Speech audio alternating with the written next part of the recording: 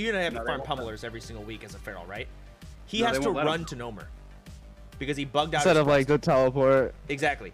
and Blizzard didn't fix it through the entirety of Classic WoW. So I know that if I fuck up my Atiesh quest, Blizzard's